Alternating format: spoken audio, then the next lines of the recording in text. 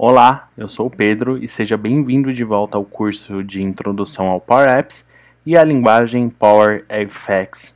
Hoje iremos aprender as funções de manipulação de data, que não são poucas, cada uma tem é, sua finalidade. Por exemplo, nós temos a day, que traz o dia, month, mês, year, ano, or, hora, minute, minutos, second, segundos, weekday, dia da semana, e o now, que é o agora.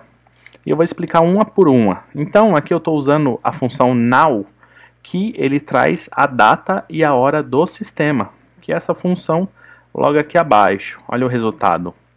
Agora, é, hoje é dia 18 de 3 de 2021 e agora são exatamente 23 horas e 20 minutos. Então, ele está seguindo a hora do sistema. Então, aqui eu estou usando a função now dentro da função day, pedindo para ele extrair o dia dessa data. Então, hoje é dia 18. Mês, mês 3, março. Ano 2021. Hora, 23 horas. 20 minutos, 12 segundos, e daqui se eu der um refresh, obviamente ele vai mudar. E o dia da semana, que hoje é uma quinta-feira, daqui a pouco já é sexta, assim que virar aqui, vira para o dia 19 e aqui muda para sexta-feira. Então, bastante interessante, é, é muito autoexplicativo essas funções.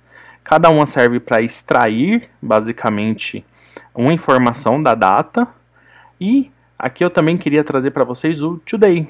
O today, diferente do now, ele traz a data atual, o now também traz a data atual, mas o today ele traz somente a data. O now ele traz a data e a hora.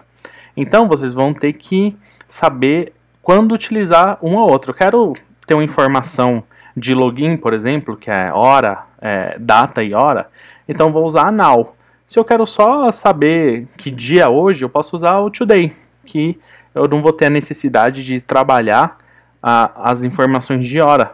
Por exemplo, se eu quero só a data e usar o now, eu vou ter que fazer uma conversão, pedir para ele extrair ali é, as informações de hora. E o today já vem com essa finalidade.